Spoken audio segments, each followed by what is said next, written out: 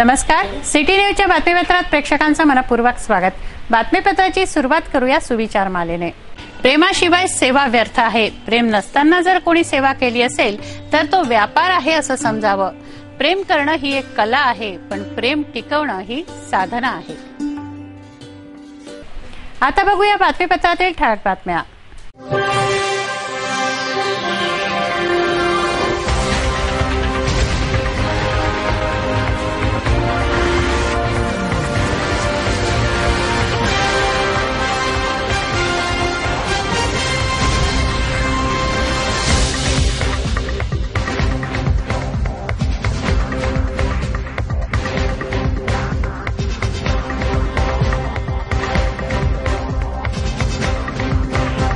बातमीपत्रात वेळ झाली आहे. विश्रांतीची. विश्रांतीनंतर पुन्हा भेटू. पहा फक्त सिटी न्यूज.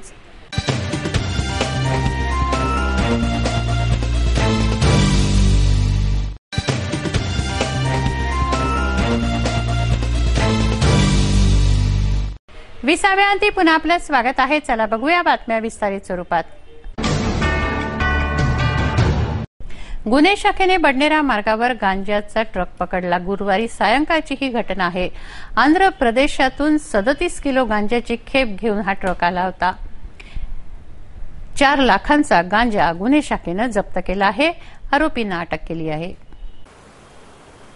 गुन्हे शाखेने एका ट्रकमधून सदतीस किलो गांजा पकडला आहे. बडनेरातून हा गांजा पकडला गेला आहे.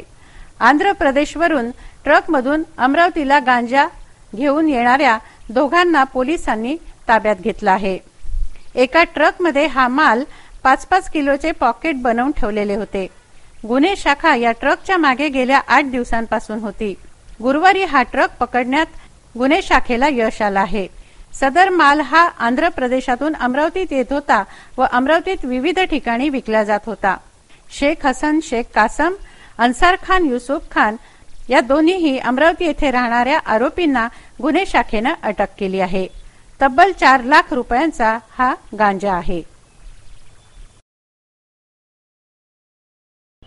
पीडीएमसीमध्ये डीएनबीचे दिल्लीचे पथक आले होते. त्यांनी पाहणी केली. त्यावेळी त्यांच्या समवेत डॉक्टर राजेंद्र निस्ताने हे होते. याबाबत डॉक्टर जाणे यांना विचारला केली असता डॉक्टर निस्ताने यांना फक्त निलंबित केलाय निष्कासित नाही असा खुलासा त्यांनी केलाय. गेल्या तीन जुलै रोजी दिल्लीचे डीएनबी पथक पीडीएमसीमध्ये पाहणीसाठी आले असता त्यांच्याबरोबर निलंबन झालेले डॉक्टर राजेंद्र निस्ताने हे दिसून आले. त्यामुळे साऱ्यांच्याच भुवया उंचावल्या. याबाबत डीन डॉक्टर जाणे यांना सिटी न्यूजने विचारणा केली असता डॉक्टर निस्ताने यांना केवळ निलंबित केलं होतं निष्कासित नाही. त्यामुळे ते आरोग्य सेवा देऊ शकत नाही मात्र ऑफिशियल वर्क करू शकतात असा खुलासा डीन डॉक्टर जाणे यांनी दिला. या संदर्भात कॅमेऱ्यासमोर बोलण्यास मात्र त्यांनी नकार दिला. पीडीएमसीमध्ये बालरोग विभागात चुकीच्या औषधोपचाराने चार नवजातांचा मृत्यू झाला. या घटनेने पीडीएमसी वादाच्या भोवऱ्यात सापडलंय. घटनेच्या पंचेचाळीस दिवसानंतर तेथील सहा डॉक्टरांनी राजीनामे दिले आहेत डॉक्टरांच्या राजीनाम्यानंतर डीन डॉक्टर जाणे यांनी तातडीची बैठक घेतली आहे. मात्र पत्रकारांना या बैठकीपासून दूर ठेवण्यात आलं. डॉक्टरांच्या राजीनाम्याने पीडीएमसीच ऑक्सिजनवर गेलंय. एमसीआयकडून पीडीएमसीची मान्यता रद्द होण्याची चर्चा आहे. तमाम दर्शकांचं सिटी न्यूजमध्ये हार्दिक स्वागत. अठ्ठावीस मेच्या रात्रीला पंजाबराव देशमुख रुग्णालयामध्ये रात्री अकरा बाराच्या सुमारास चार नवजात बालकांचं मृत्यू झाल्याची बातमी सिटी न्यूजने उघडकीस आले असता रात्रभर या ठिकाणी सिटी न्यूजने पूर्ण कैफियत शहरात आणि आपल्यासमोर मांडलेली होती. त्यासंबंधी पोलिसांनी त- पूर्ण तपासणी करून काही डॉक्टर आणि नर्सला तुरुंगवास भोगावा लागला. आणि पूर्णतः पंचेचाळीस दिवसाचा पूर्ण या ठिकाणची माहिती उघडकीस करण्याचा प्रयत्न सिटी न्यूजने केला. या पाठोपाठ पंजाबराव देशमुखची रुग्णालय प्रशासनाकडून पाच डॉक्टरांनी अचानक राजीनामा दिल्याने खळबळ निर्माण झालेली आहे की राजीनामा का दिला?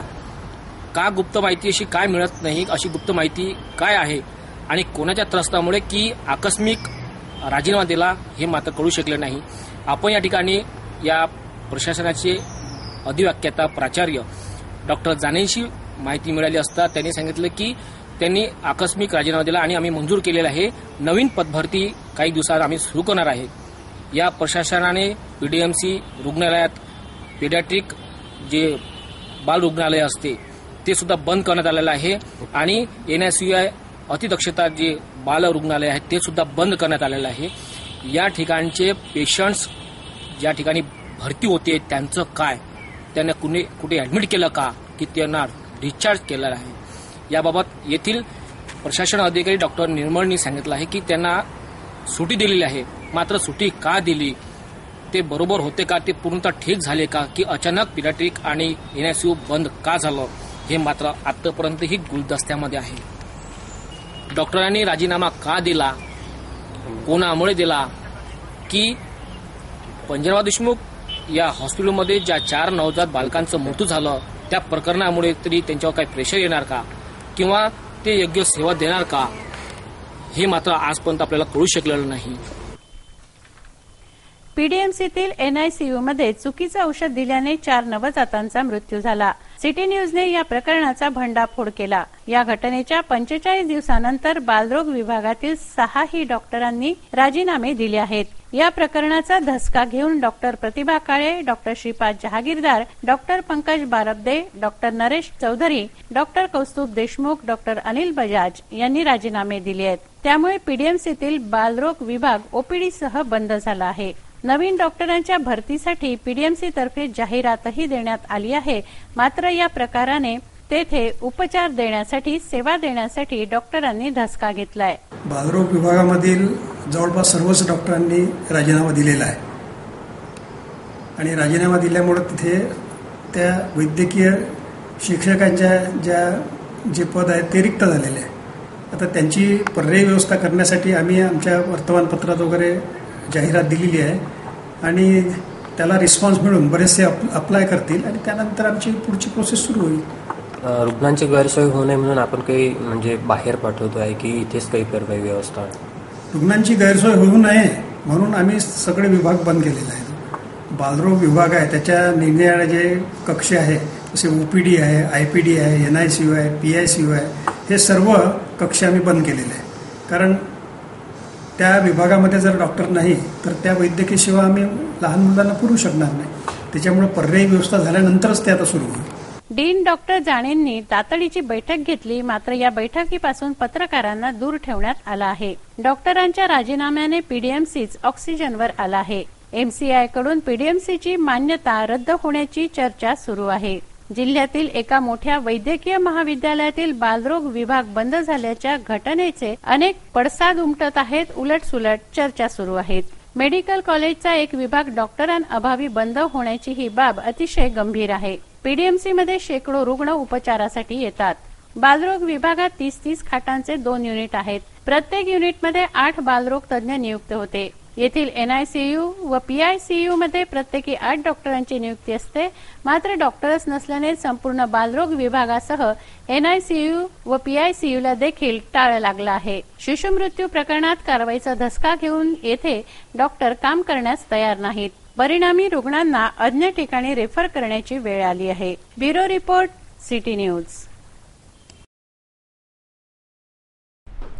RTO मधील अनागोंदी कारभाराची वास्तविकता याआधी सिटी न्यूजने प्रसारित केली आहे.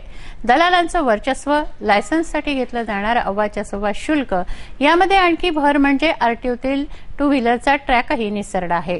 ऑनलाईन परवान्याची सोय असतानाही नागरिकांना ही सेवा उपलब्ध करून दिली जात नाही. नागरिकांना शंभर रुपयांच्या लायसन्ससाठी हजार रुपये मोजावे लागतात आहेत. आरटीओमध्ये अनागोंदी कारभार असल्याची वास्तविकता याआधीही सिटी न्यूजने प्रसारित केली आहे. आणखीही अनेक अनागोंदी उघड होत आहेत. लर्निंग लायसन घेण्याकरता गाडी चालवून दाखवावी लागते यासाठीचा अमरावती आरटीओतील ट्रॅक अत्यंत निसरडा झाला आहे. येथे टेस्ट देत असताना एक मुलगी पडत होती ती बचावली. चिखल डबके येथे झाले आहे. हा ट्रॅक मुरुम टाकून पावसाळ्यायोग्य बनवायला पाहिजे. कारण पाऊस तर थांबवू शकत नाही परंतु ट्रॅक चांगला बनवता येतो. मात्र त्याकडे लक्ष दिलं जात नाही. हे येथील डबके पाहूनच दिसून येते. आरटीओचे कार्यकारी अधिकारी काठोळे यांनी सकाळी बाहेरचे दलालांचे टेबल कॅन्टीन हटवले परंतु त्यांची पाठ वळताच दहा मिनिटातच हे टेबल जैसे थे लागले. यावरून दलालांचं वर्चस्व सिद्ध होते. अमरावती जिल्ह्यात चौदा तालुके आहेत. या तालुक्यातील नागरिकांना अमरावती आरटीओतून ऑनलाईन लायसन घेण्याची सुविधा आहे. परिवहन कार्यकारी अधिकारी प्रसाद गांजरे यांच्याकडे हे काम आहे. ऑनलाईन लर्निंग लायसन घे- देण्यासाठी वेबसाईट आहे मात्र ती उघडलीच जात नाही. उघडलीच तर ती केवळ साटालोटा असणाऱ्या ड्रायव्हिंग स्कूलसाठीच उघडली जाते अशी खात्रीलायक माहिती आहे. वेबसाईट उघडल्या जात नसल्याने तालुक्यातील नागरिकांना लर्निंग लायसनसाठी अमरावतीला यावे लागते. ऑनलाईन लायसन शंभर रुपयात मिळते ते लर्निंगसाठी हजार रुपये वसूल केले जातात. शिवाय परगावाहून येण्या जाण्यासाठी भाडं लागते ते निराळच आणि येण्या जाण्याचा प्रवासाचा त्रास निराळाच. वर कमाईसाठी वेबसाईट न उघडण्याचा हा फंडा वापरला जातो हे यावरून दिसून येतं. वेबसाईट उघडण्याचं काम प्रसाद गांजरे यांच्याकडे आहे. त्यांच्याकडे अमरावती व यवतमाळचेही ऍडिशनल म्हणून पदभार आहे. लर्निंग लायसन करता अशा प्रकारे अव्वाच्या सव्वा शुल्क उकळून नागरिकांचं अक्षरशः आर्थिक शोषण केलं जात आहे सिटी न्यूज प्रतिनिधी पुष्पा जैन यांचा हा रिपोर्ट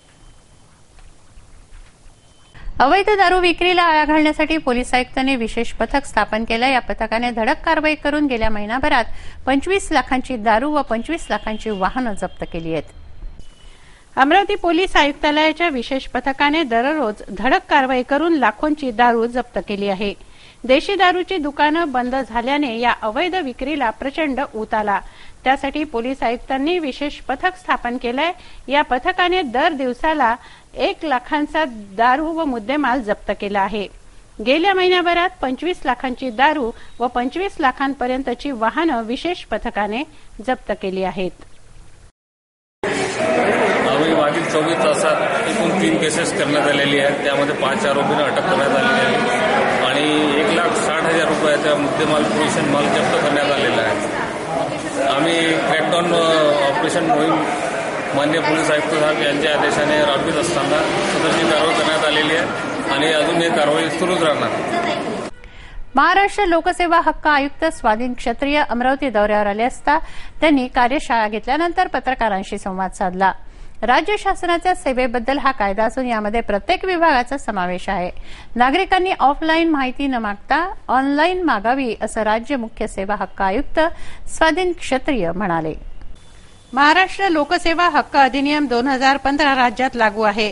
या कायद्याविषयी लोकांना माहिती व्हावी त्याची अंमलबजावणी व्हावी यासाठी राज्य मुख्य सेवा हक्क आयुक्त स्वाधीन क्षत्रिय अमरावती दौऱ्यावर आले असता त्यांनी पत्रकारांशी संवाद साधला.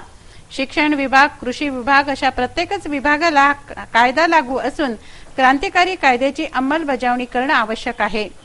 राज्य शासनाच्या सेवेबद्दल हा कायदा आहे. लोकांनी ऑफलाईन माहिती न मागता ऑनलाईन माहिती मागावी व कार्यालयांबाहेरही कोणत्या विभागाची माहिती कुठे मिळेल याचे फलक लावावे अशा सूचना राज्य सेवा हक्क आयुक्त स्वाधीन क्षत्रिय यांनी दिल्या.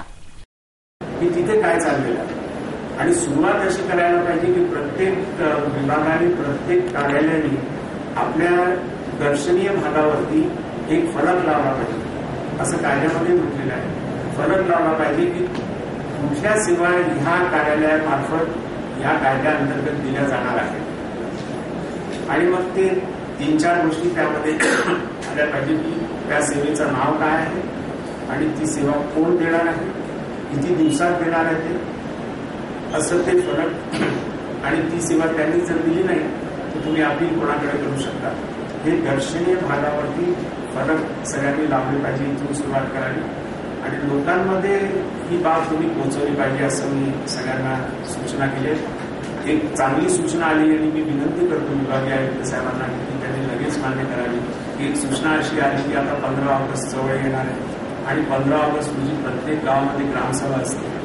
ग्रामसभेमध्ये जर हा विषय ठेवण्यात आला किंवा गावामध्ये आता लोकांसाठी ही सेवा ग्रामपंचायतीमार्फत दिली जाईल. तर त्याचा भाग असे वेगवेगळे आपण फोरम्स वापरले पाहिजे लोकांपर्यंत ही माहिती. आणि शासकीय यंत्रणा ही एक अशी यंत्रणा आहे की जी अगदी प्रत्येक शहरात प्रत्येक गावापर्यंत पोहोचलेली असते.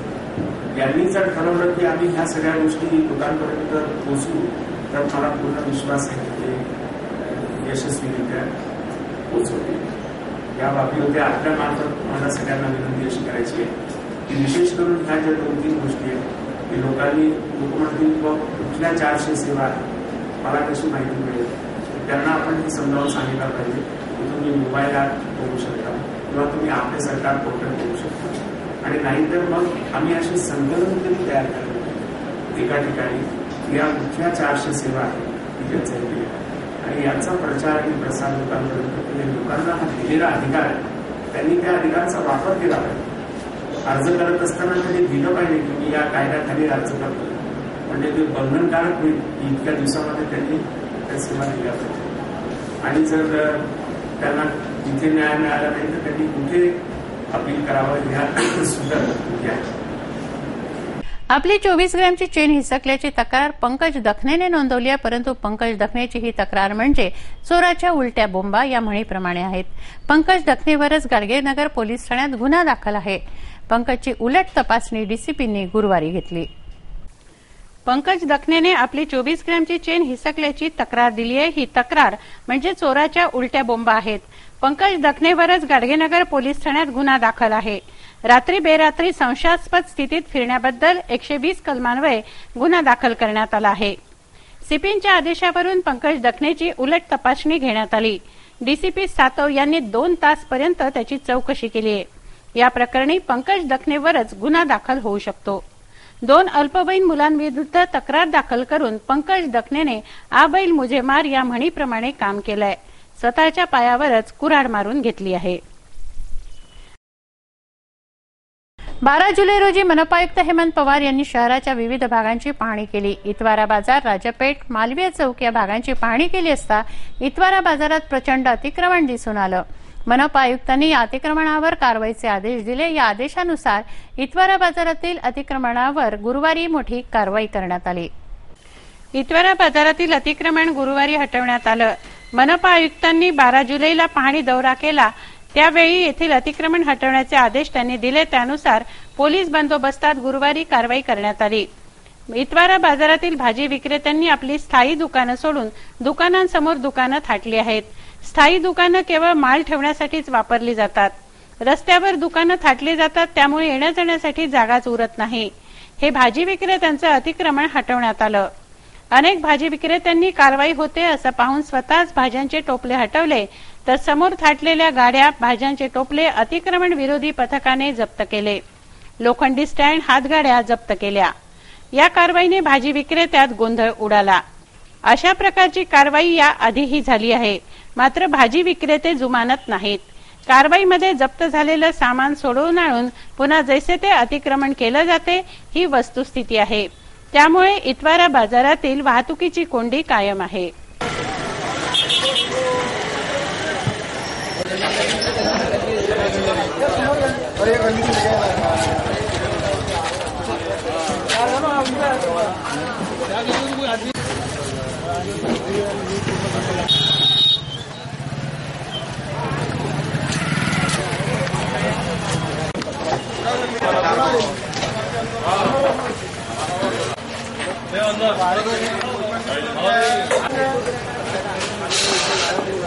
गरिबांना दुसऱ्यांदा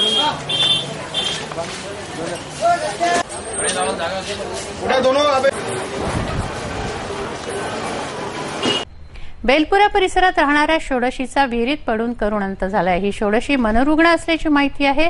गुरुवारी सकाळची ही घटना आहे. बेलपुरा येथे राहणाऱ्या सोळा वर्षांच्या मुलीचा विहिरीत पडून करुण अंत झाला. गुरुवारी सकाळी आठ वाजताच्या सुमाराची ही घटना आहे. ही मुलगी घरातच असलेल्या विहिरीवर बसून दात घासत होती. ती तोल जाऊन पडली अशी नोंद पोलिसांकडे आहे. ही षोडशी मतिमंद असल्याची माहिती आहे. बातमीपत्रात घेऊया काही क्षणाचा विसावा. विसाव्यानंतर पुन्हा भेटू. पहा फक्त सिटी न्यूज.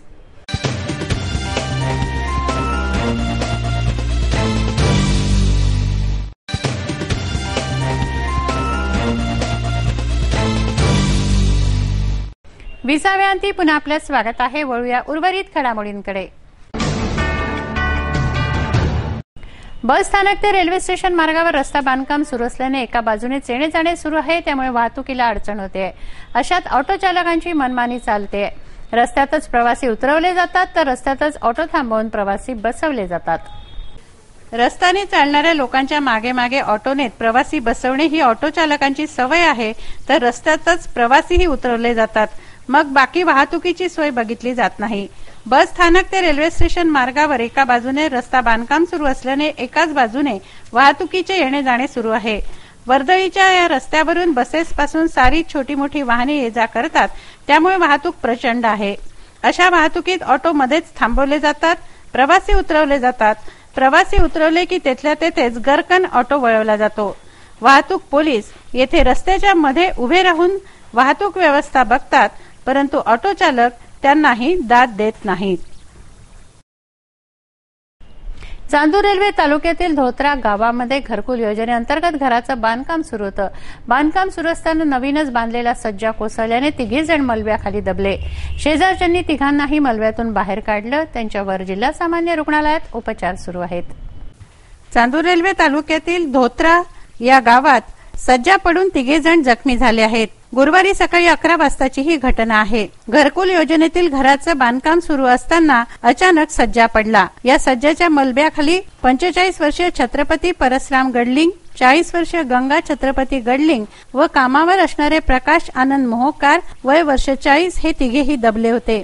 गंगा छत्रपती गडलिंग यांच्या हात व कमरेला मार लागल्याने ती गंभीर जखमी आहे. तर छत्रपती गडलिंग यांच्या कमरेला व मोहकारच्या पायाला इजा झाली आहे. शेजाऱ्यांना आवाज आला असता ते बाहेर धावून आले व त्यांनी या तिघांनाही मलब्याबाहेर काढून जिल्हा सामान्य रुग्णालयात दाखल केलं आदमी नाही लावा मग काहीच नाही करत अरे मी काहीच नाही करत बेटा. हातही नाही लावला हे काय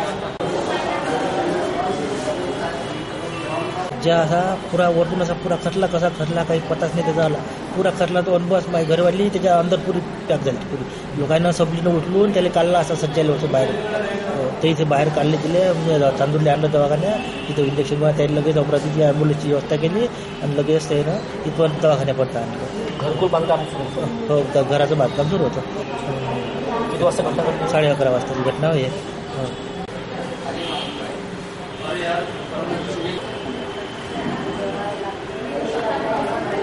इरविनच्या ओपीडीमध्ये धानोरा गुरवच्या महिलेची प्रसूती झाली. बीपी वाढल्याने महिला उपचारासाठी आली.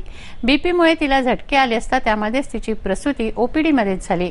यावेळी हजर असलेल्या महिला डॉक्टरांनी बाळ बाळंतिणीचे प्राण वाचवले. जिल्हा शल्य चिकित्सकांना मात्र हे रुचलं नाही त्यांनी डॉक्टर महिलेलाच सुनावलं. गुरुवारच्या दुपारी चार वाजता इरविनच्या ओपीडीमध्ये महिलेची प्रसूती झाली. शालिनी गुरमुळे नामक महिला धानोरा गुरव म- शालिनी गुरमुळे नामक महिला धानोरा गुरव येथे आपल्या आईकडे माहेरी बाळणपणाला आली होती. तिला आठवा महिना सुरू होता. गुरुवारी सकाळी तिचं बीपी वाढल्याने तिला त्रास होऊ लागला असता नांदगाव खंडेश्वर येथील रुग्णालयात तिला नेण्यात आलं. तेथून तिला इरविनला रेफर करण्यात आलं. इरविनमध्ये तिला झटके येऊ लागले. उपचार सुरू असतानाच तिची प्रसूती झाली. डॉक्टर उज्ज्वला मोहोड व त्यांच्या सहकाऱ्यांनी या महिलेची प्रसूती केली व बाळ बाळंतिणीला वाचवलं. बाळ नाजूक असल्याने डफरीनच्या एनआयसीयू मध्ये त्याला रेफर करण्यात आलं. नेलं पहिले पी एच मध्ये तिथे मग त्यांनी सांगितलं जास्त आहे म्हणजे ते हां. म्हणजे डफरीनमध्ये नाही नेलं का? नाही नाही ते मग प्रॉब्लेम जास्त होता ना. त्याच्यामुळे मग ते आणावं लागलं. का इथं काय झालं? त्यांना ते डोकं वगैरे दुखे. हां. बी पी वाढले थोडा ताप होता सुरुवातीला. त्याच्यामुळे आणायचं काय व्यवस्थित ट्रीटमेंट झाली हा काय ट्रीटमेंट व्यवस्थित. बाळ व्यवस्थित आहे का काय? बाळ व्यवस्थित. डॉक्टर उज्ज्वला मोहोड यांनी गंभीर परिस्थितीतही महिला व बाळाला वाचवलं. वरिष्ठांना याविषयी माहिती असावी म्हणून डॉक्टर मोहोड यांनी सीएस राऊत यांना फोनवरून माहिती दिली. परंतु डॉक्टर राऊत यांनी डॉक्टर मोहोड यांचं कौतुक करण्याऐवजी त्यांनाच उलट खडसावलं. त्यामुळे डॉक्टर मोहोड चांगल्याच संतापल्या होत्या. दुपारी दोन वाजता ऍडमिट झालेली आहे शालिनी निकोडे नावाची पेशंट आठवा महिना चालू होता तिला आणि झटके येत होते. इथे ट्रीटमेंट चालू केलेली.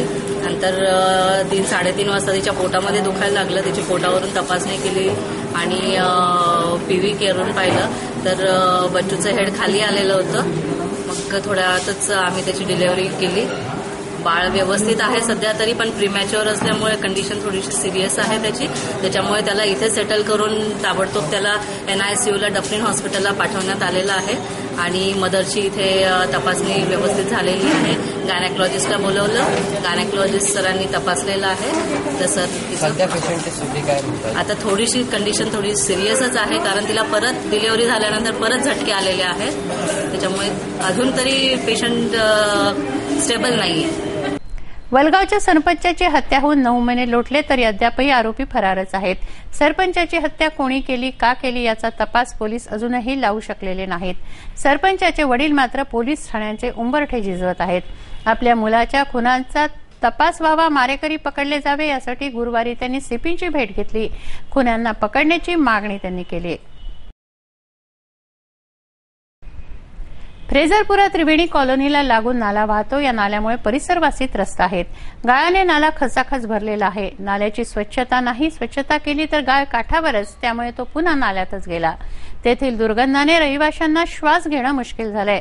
शिवाय रस्त्यावरील स्पीड ब्रेकरनेही नागरिकांना आजार जडले आहेत. फ्रेझरपुरा व त्रिवेणी कॉलनीला लागून नाला आहे. या नाल्यामुळे नागरिक तेथील रहिवासी त्रस्त झाले आहेत. हा नाला कित्येक महिन्यांपासून वर्षांपासून स्वच्छ केलेला नाही. जो काही स्वच्छ केला होता तो गाळ व कचरा काढला व तो रस्त्यावरच टाकला. हा गाळ व कचरा पुन्हा पावसाने नाल्यातच वाहून गेला आहे. या नाल्यातील दुर्गंधाने स्वतःच्या अंगणात बसणंही मुश्किल झालं आहे अशी प्रतिक्रिया तेथील रहिवाशांनी सिटी न्यूजला दिली आहे. इथं कचरा काढून ठेवलेला तीन महिने झालेला येते काढून ठेवून दिला बाहेर. आणि असे म्हणतात की बा गाडी आल्यानंतर ट्रक आल्यानंतर पाठवतो तुम्हाला घेऊन जातो बा. तर आलेच नाही अजून ते. नगरसेवकाकडे तुम्ही तक्रार केली होती हे का? काकडे साहेब गेले होते यांनी सांगितलं होतं इथला पूर्ण नाला स्वच्छ झाला का?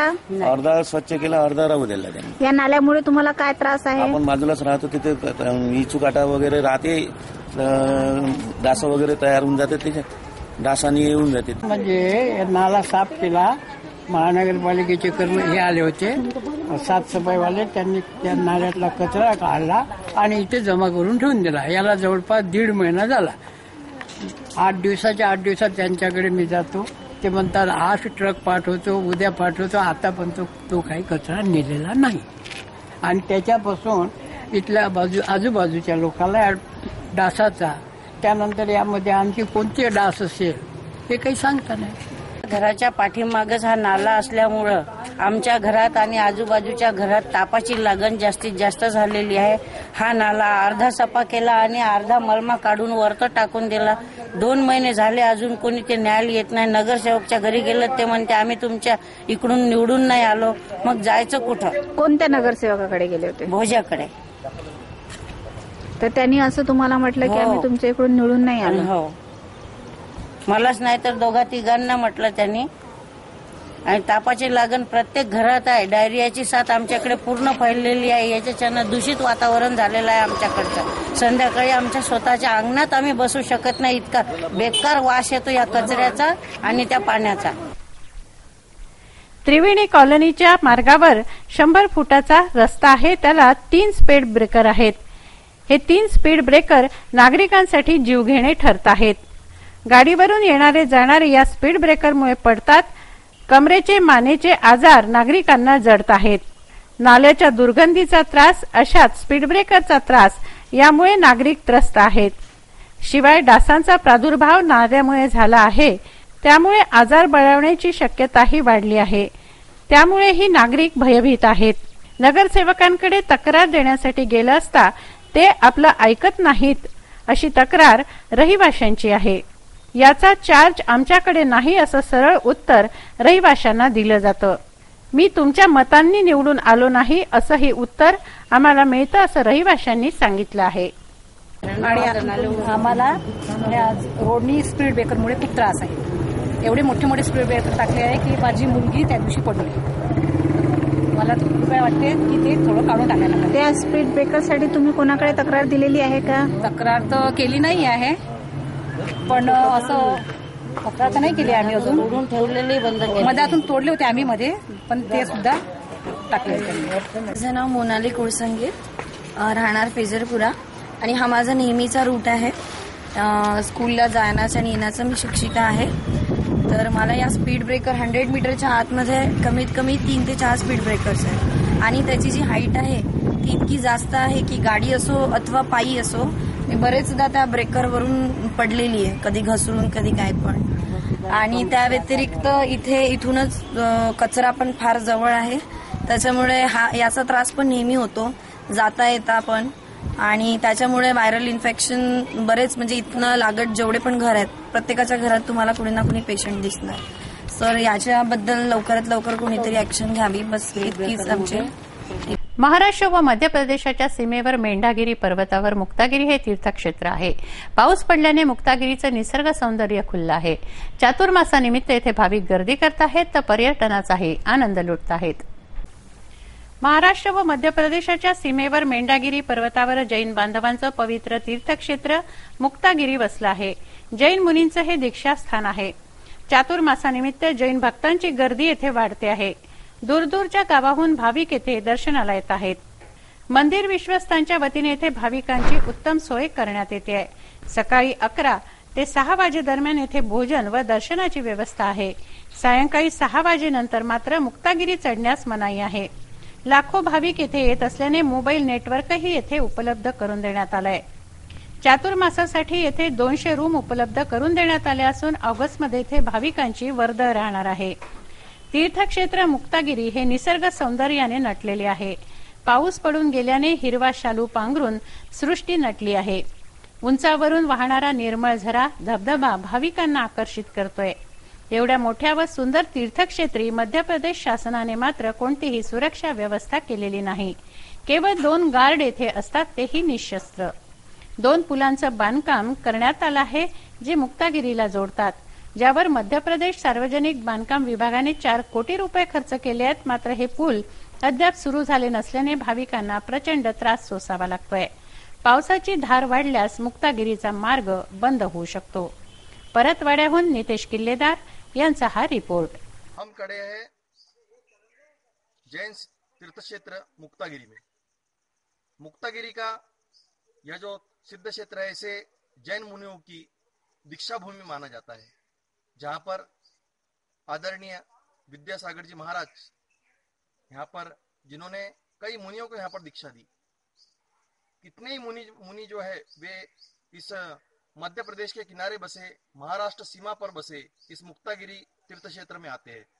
बावन मंदिरों का यह शिवालय है, जहाँ पर इस माह में जुलाई और अगस्त के दौरान एक अलग ही सौंदर्य खिलता है। इस सौंदर्य को देखने के लिए पूरे भारतवर्ष से यहाँ पर जैन भक्त आते हैं। यही नहीं तो अन्य समुदाय के लोग भी इस सौंदर्य को देखने के लिए तीर्थ क्षेत्र मुक्तागिरी आते हैं। मेंढागिरी पर्वत पर बसे इस मुक्तागिरी में एक विशाल झरना है, जो एक आकर्षण बना है और सौंदर्य के रूप के साथ साथ यहाँ पर ऋषि मुनियों के मंदिरों के जिनालयों के दर्शन यहाँ पर मायने रखते हैं। आज भी सुबह सूरज की पहली किरण निकलने के बाद में यहाँ पर पूजा अर्चना की जाती है और सूरज की पहली किरण प्रभात होते ही यहाँ पर चंदन वर्षा होती है। इस चंदन वर्षा का महत्व माना जाता है यहाँ पर चंदन वर्षा देखने के लिए और चंदन वर्षा का यह अनोखा अनुभव महसूस करने के लिए जैन भक्त लाखों की संख्या में यहाँ पर आते हैं। इस बार बरसात होने के बाद में एक अनोखा यहाँ पर आपको चित्र दिखाई दे रहा है और निश्चित रूप से भारतवर्ष में मुक्तागिरी यह क्षेत्र एक जैन मुनियों का और जैन धर्म के लिए, जैन समाज के लिए एक आस्था का स्थल है। मैं कैमरामैन विजय काकड़े के साथ नितेश किल्लेदार सिटी न्यूज मुक्तागिरी. भातकुली तालुक्यातील साऊर येथील रहिवाशांनी सीपींना निवेदन दिलं. जाणून बुजून धार्मिक भावना दुखावल्या जात आहेत त्यामुळे जातीय दंगल होण्याची शक्यता नाकारता येत नाही. साऊर येथील उपसरपंचाबाबत ग्रामस्थांनी तक्रार केली आहे. भातकुली तालुक्यातील साऊर येथील ग्रामस्थांनी सीपींना निवेदन दिलं. साऊरचे उपसरपंच हेतू पुरस्सर जातीय तेढ निर्माण करण्याचा प्रयत्न करत असल्याचा आरोप साऊरवासियांचा आहे. या संदर्भात कारवाई करून अनुसूचित जाती प्रतिबंधक कायदा एकोणीशे एकोणनव्वद प्रमाणे गुन्हा दाखल करावा अशी मागणी साऊरवासियांची असून तसं न झाल्यास पंधरा ऑगस्टला आत्महत्या करू असा इशारा ग्रामस्थांनी दिला आहे.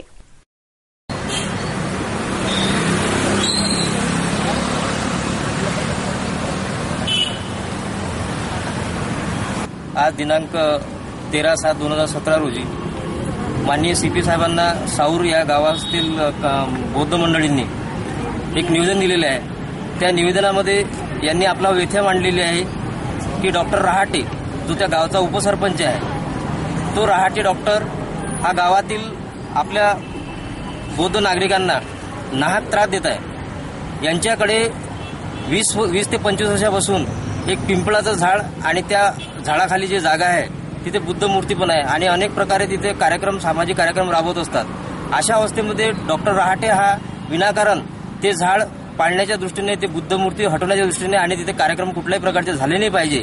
यासाठी या आपल्या लोकांना अशा प्रकारचं निवेदन माननीय सीपी साहेबांना दिलेलं आहे. या निवेदनावर सीपी साहेबांनी कुठल्या प्रकारची दखल जर नाही घेतली तर आम्ही रिपब्लिकन पार्टी ऑफ इंडियाच्या वतीने आंदोलन उभारू. आणि आमची मागणी एकच आहे की डॉक्टर रहाटे याच्यावर अॅट्रॉसिटी कायद्याअंतर्गत गुन्हा दाखल व्हा- गुन्हा दाखल व्हावा. जर तसं झालं नाही तर त्याचे परिणाम माननीय सीपी साहेबांनी आणि पोलीस प्रशासनाला भोगावं लागते आणि सीपी साहेबांना याच्या अगोदर निवेदन दिलेले आहे. त्यानुसार वातावरण शांत झालेलं होतं. आम्ही सुद्धा सामंजस्य भूमिका घेतलेली होती. पण आता वर्षावास लागल्या कारणाने आमचं तिथं एक सामाजिक प्रोग्राम असतो.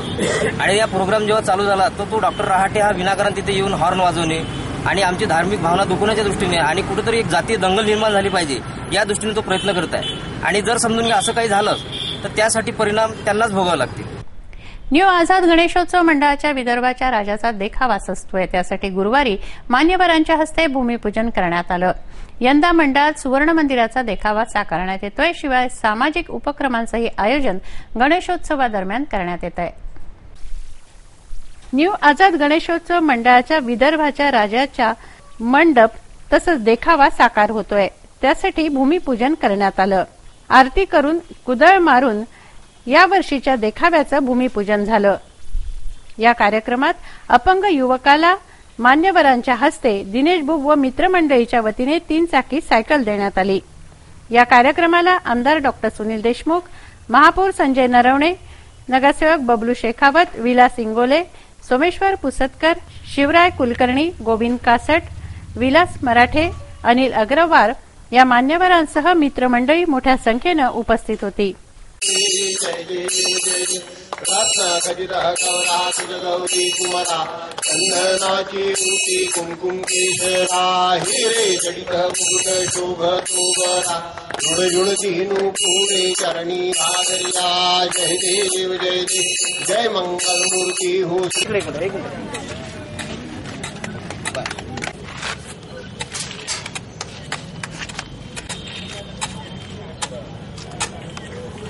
न्यू आझाद गणेशोत्सव मंडळाचं हे अडतीसावं वर्ष आहे.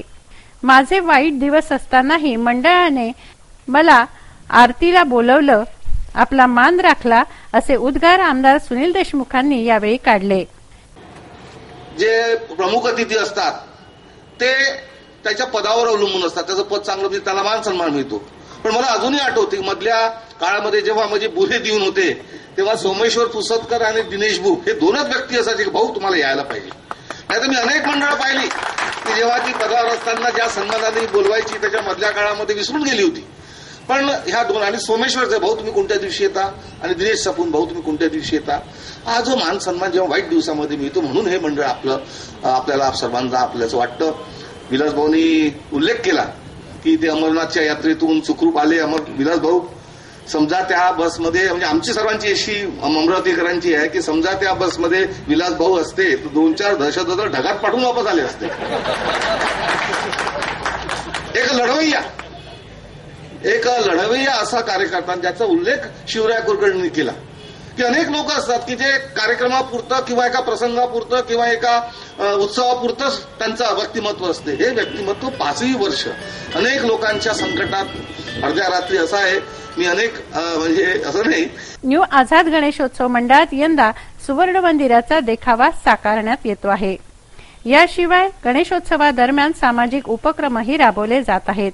रक्तगट तपासणी मोतीबिंदू नेत्र तपासणी यासारखे विविध शिबिरं घेण्यात येणार आहेत अशी माहिती दिनेश बुब यांनी दिली आहे. वर्षीप्रमाणे यंदाही आम्ही एक उत्कृष्ट असा देखावा अमरावतीकरांच्या करता सादर करणार आहोत. देखाव्याचा अ, सादरीकरणाचा उद्देश मुख्य असतो गणरायाची स्थापना एक चांगल्या प्रसन्न वातावरणात झाली पाहिजे. म्हणून उत्कृष्ट देखावा भव्य दिव्य देखावा आणि रोषणाई आणि सजावट याने परिपूर्ण असलेला देखावा यंदा सादर करणार आहोत. सुवर्ण महालाची प्रतिकृती राहील. मागच्या वर्षी सुवर्ण महाल होता परंतु यंदा वेगळ्या रूपात राहील सुवर्ण महाल. आणि त्यासोबत सामाजिक उपक्रम मोतीबिंदूच्या शस्त्रक्रियेचे शिबिर डोळ्याच्या तपासणीचे शिबिर स्तन कॅन्सर आणि गर्भाशयाच्या कॅन्सरचं निदान शिबिर अशा प्रकारचे वेगळे वेगळे उप उपक्रम. आणि आपला रक्तगट तपासणी शिबिर. रक्तदानाची तर चळवळ बाराही महिने सुरू असते परंतु युवा वर्गांना नवीन जी पिढी तयार होऊन राहिली त्यांना स्वतःचा रक्तगट माहीत असला पाहिजे. रक्तदानाची याबद्दल जागृती झाली पाहिजे नेत्रदानाच्या प्रती जागृती झाली पाहिजे अवयवदानाच्या प्रती जागृती झाली पाहिजे. सामाजिक बांधिलकी जपल्या गेली पाहिजे या उद्देशाने मंडळाचं कार्य सुरू आहे मुलांना चांगलं शिक्षण मिळावं त्यांच्यावर चांगले संस्कार व्हावे यासाठी मुलांना मदरशामध्ये ठेवलं जातं. अमरावतीचे दोन बालक अकोल्याच्या वाशिम रोडवरील मदरशामध्ये होते तेथून ते बेपत्ता झाले आहेत. मदरशामधून मुलांच्या आईवडिलांना फक्त कळवण्यात आलं साधी पोलिसात तक्रारही दिली नाही. अमरावतीच्या अलिमनगर येथे राहणारे दोघं बालक मदरशातून बेपत्ता झाले आहेत. बारा वर्षांचा अब्दुल मुजम्मिल अब्दुल जब्बार व दहा वर्षांचा रिजवान ननूर खा अशी त्यांची नावं आहेत. हे दोघं अकोल्याच्या वाशिम मार्गावरील मदरशामध्ये होते. तेथून ते सोमवारी सायंकाळी सात वाजेपासून बेपत्ता झाले आहेत. मुलं बेपत्ता झाले म्हणून मदरशातून मुलांच्या आईबाबांना केवळ कोरडेपणाने फोन आला निरोप देण्यात आला. परंतु अकोला पोलिसांकडे साधी तक्रारही मदरशाच्या वतीने दाखल केली गेली नाही. मुलांच्या मातापित्यांनी नागपुरी गेट पोलीस ठाण्यात धाव घेतली. नागपुरी गेट पोलिसांनी त्यांना अकोल्यात तक्रार द्यायला सांगितलंय. मुलांच्या बेपत्ता होण्याने आईवडील हवालदिल झाले आहेत त्यांना टोलवलं जात आहे मुलांना सांभाळण्याची जबाबदारी मदरशांची आहे. याविषयी संचालक अनभिज्ञ असूच शकत नाहीत. Bureau report City News. एक नजर बातमीपत्रातील अन्य महत्त्वाच्या घटनांवर. अतिघाई संकटात नाही वेग आवरा जीवन वाचवा. हे असंच काही कोणी म्हटलेलं नाही. अर्थात आपल्याजवळ बाईक आहे गाडी आहे दुचाकी आहे चार चाकी आहे या वाहनांचा वेग आपल्या आटोक्यात ठेवला तर निश्चितच फायदा होतो. अन्यथा आपल्याला मरण सुद्धा पत्कारावं लागतं. याचं जिवंत उदाहरण गुरुवारच्या रात्री साडेनऊ वाजता मालवीय चौकातील पुलावरून दुचाकी चालक व त्याच्यामागे बसलेला त्याचा मित्र अतिवेगाने येत असताना मागे बसलेला युवक व दुचाकी चालक हे पुलावरून खाली पडले. त्यांच्या पडल्यामागचं मुख्य कारण म्हणजे त्यांची गाडी अतिवेगात होती. ते टर्न करत असताना त्यांना गाडी वळवता आली नाही व ते सरळ पुलाच्या खाली कोसळले. त्यामध्ये एक मुलगा मृत व दुसरा गंभीर जखमी झाला आहे. राजापेठपासून पुलावरून इरविनकडे येताना हे दोघेही दुचाकी वर बसलेले स्पीडने येत असताना अतिवेगाने येत असताना दुचाकी लोखंडी ऑलला भरधा वेगाने धडक लागून चाळीस फूट खाली रोडवर पडले व हा दुर्दैवी अपघात झाला. यामध्ये यामाहा दुचाकी क्रमांक एम एच एकोणतीस ए झेड एक्कावन्न छप्पन क्रमांकाची दुचाकी खाली पडली. नागरिकांनी तात्काळ घटनास्थळी पोहोचून जिल्हा सामान्य रुग्णालयात या दोघांनाही नेण्यात आलं. तिथे एकाचा घटनास्थळीच मृत्यू तर दुसऱ्याला खासगी रुग्णालयात दाखल करण्यात आले. घटनास्थळी सीआर पोलीस व्हॅन पोहोचली. त्यावेळी नागरिकांनी मोठी गर्दी केली होती. शुभम महाजन वय वर्ष सतरा राहणार दिग्रज हा घटनास्थळीच मृत्यू झाला. तर कृष्णा नावाचा युवक मागे बसलेला हा गंभीर जखमी होऊन त्याला खासगी रुग्णालयात नेण्यात आले. पाहुया तेरा जुलै रोजी इतिहासाच्या पानात काय घडलं ते.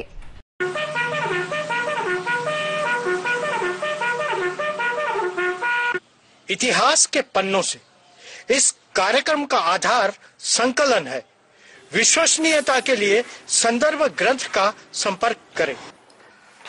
नमस्कार। आइए स्वागत है आपका लोकप्रिय इतिहास के पन्नों में। आए देखे सोचे, समझे, सुने और मनन करे। क्या कुछ हुआ इतिहास के पन्नों में दिनांक 13 जुलाई को? क्योंकि आप तो जानते ही हैं कि इतिहास हमेशा अपने आप को दोहराता है। 13 जुलाई सन 1837 में महारानी विक्टोरिया ने बंकिंगम पैलेस में रहना शुरू किया। सन 1885 व्यायाम वीर छोटू भाई पुराणी इनका जन्म हुआ। सन अठारह में जयपुर घराने की गायिका केसर केसरबाई केरकर इनका जन्म हुआ।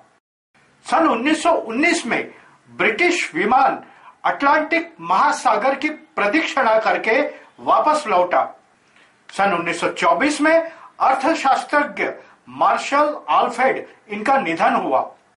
सन 1929 में क्रांतिकारी जतीन्द्रनाथ दास ने भूख हड़ताल शुरू की।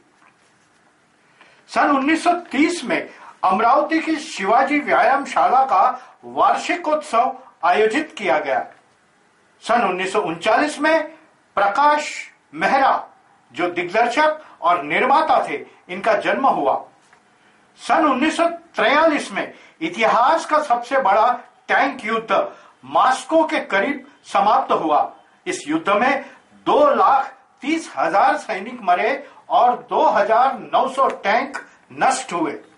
सन 1974 में इंग्लैंड के लिड्स में भारतीय टीम प्रथम बार वनडे मैच खेली।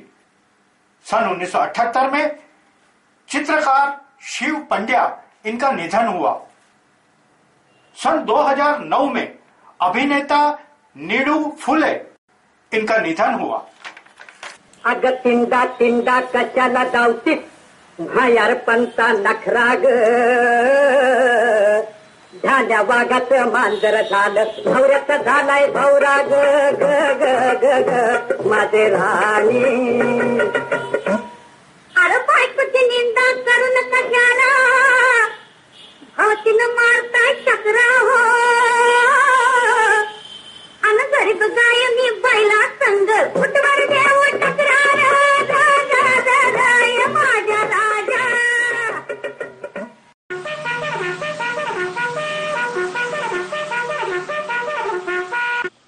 इतिहास के पन्नों से। इस कार्यक्रम का आधार संकलन है। विश्वसनीयता के लिए संदर्भ ग्रंथ का संपर्क करें। हे बातमीपत्र एवढ्यावरच थांबवूया. पुन्हा एकदा आजच्या ठळक बातम्या.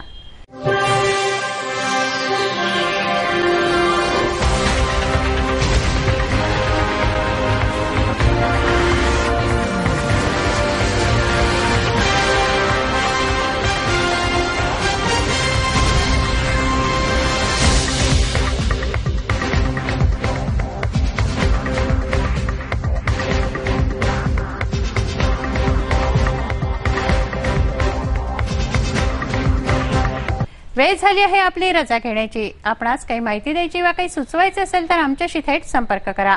आमचा पत्ता सिटी न्यूज कार्यालय मातोश्री आर्केड सहकार भुवन समोर मोर्शी रोड अमरावती.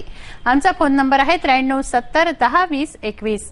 आणि वेबसाईट आहे W W W dot city news dot net dot in अचूक सडेतोड आणि निर्भीड बातम्यांसाठी बघत राहा अमरावतीचं नंबर वन चॅनेल फक्त सिटी न्यूज. बातमी आमची विश्वास तुमचा.